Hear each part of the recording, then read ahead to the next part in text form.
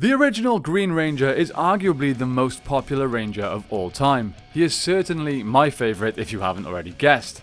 The man behind the helmet, Tommy Oliver, of course went on to be multiple different Rangers. Mighty Morphin White, Zeo Red, Turbo Red and Dino Thunder Black. But this video is not about Tommy's story, it's purely about the Green Ranger. We will more than likely cover his other Ranger forms in future videos, as that would be far too much to put into one. I really hope you enjoy this one as I've been looking forward to making it for a while. Let's get into it.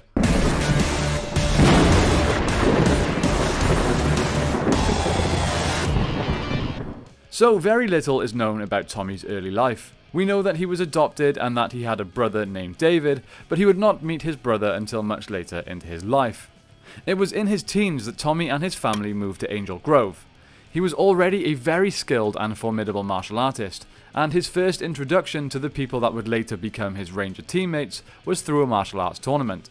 He was the new kid, showing off his impressive kicks and acrobatics, getting into his opponent, Jason's head. Despite Jason being referred to as Angel Grove's finest by the announcer, the fight ended in a tie. It was enough to earn a mutual respect between the two fighters, both recognizing the other's skill as a martial artist.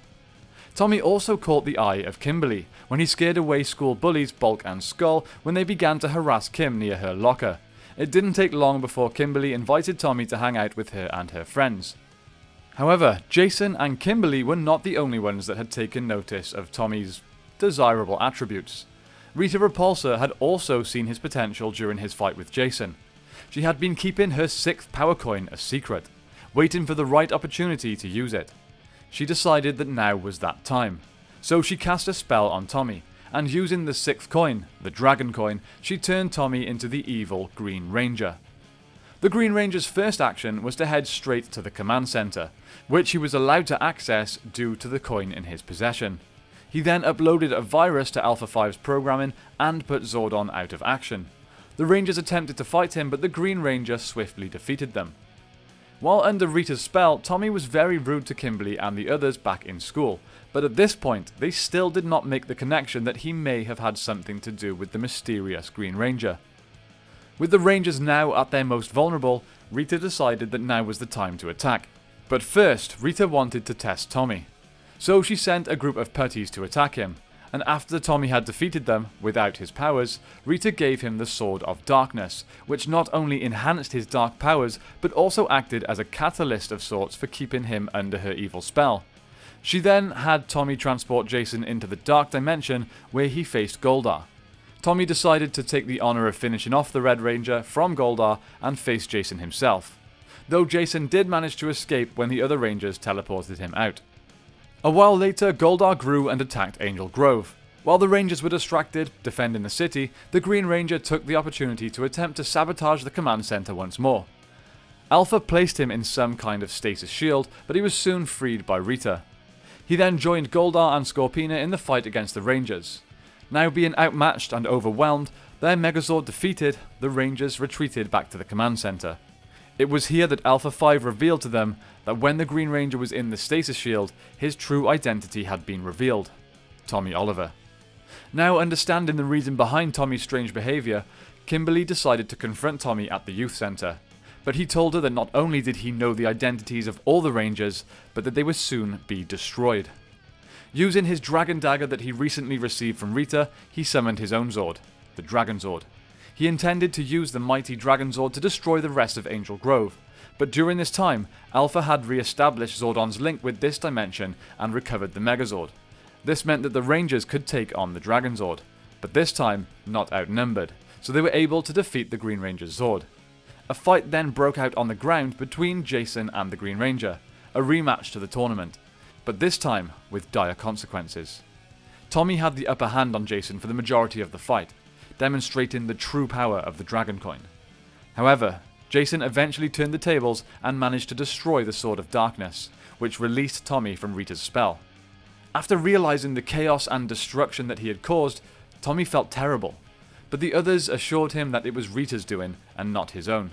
They offered him a place in the team, and after agreeing to Zordon's terms for being a ranger, he accepted, becoming the first ever 6th Power Ranger.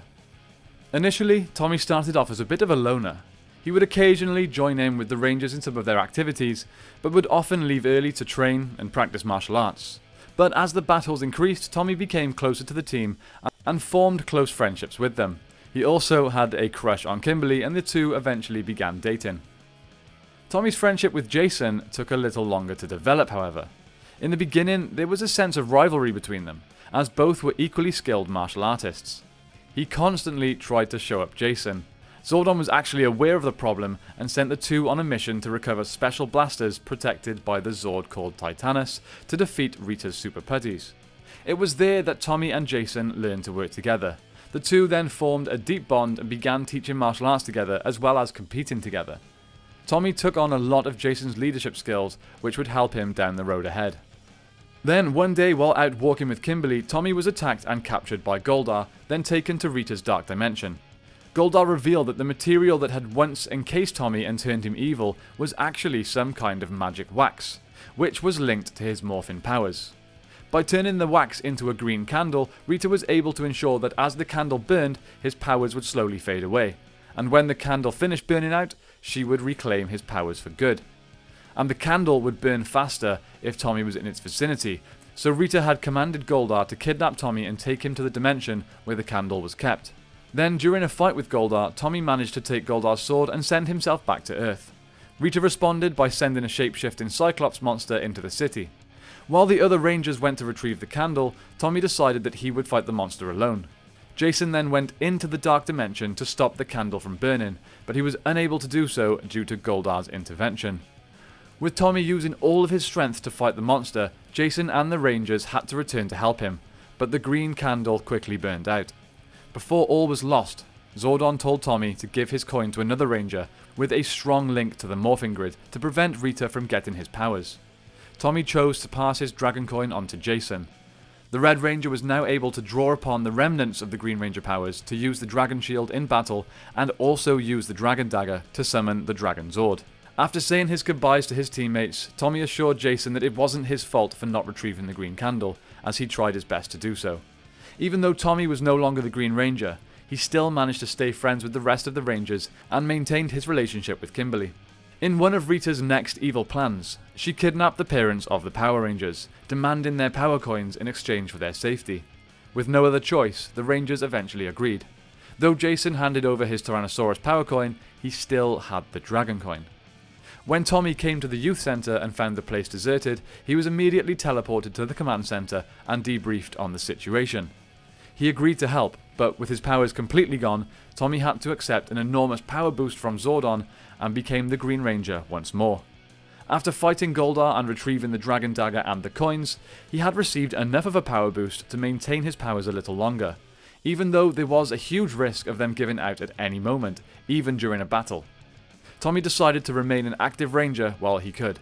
Returning to the team, Tommy helped the rangers in fighting various monsters. Though Zordon did caution him about his limited power supply, Tommy was always battle ready if called upon. He no longer kept a low profile and became a lot more involved with the Rangers, helping to unify the team. However, all this happiness would suddenly change when a new villain, Lord Zed, emerged. Determined to succeed where Rita had failed, Zed swore that he would put an end to the Rangers once and for all. When the Dinozords appeared to be no match for Zed's power, Zordon changed them to become Thunderzords. With Tommy not having enough power for his own Thunderzord, Zed realized the Green Ranger was the team's weakest link and soon began to target him specifically. Before long, one of Zed's monsters, named Turban Shell, drained Tommy of some of his power. Zed had then kidnapped five teenagers and planned to turn them into the Dark Rangers. Tommy was the only one that was able to go and destroy the crystal that held his powers. He succeeded and used his powers for one last morph to destroy Turban Shell. Tommy was of course sad that the Green Ranger powers were truly gone forever, but he had known that this time would come eventually. To gain some perspective, he went to his uncle's cabin near the lake to spend the school break. Then, despite a few future appearances through evil magic or eventually the Master Morpher, that is it for the story of the Green Power Ranger. I really hope you guys enjoyed this one. If you want to see the story continued with the full story of the White Ranger, then be sure to let me know in the comments down below. And don't forget to subscribe to the channel for more Power Rangers content, it really helps the channel out. Thank you so much for watching, my friends. May the power protect you, and I will see you next time on the Sixth Ranger.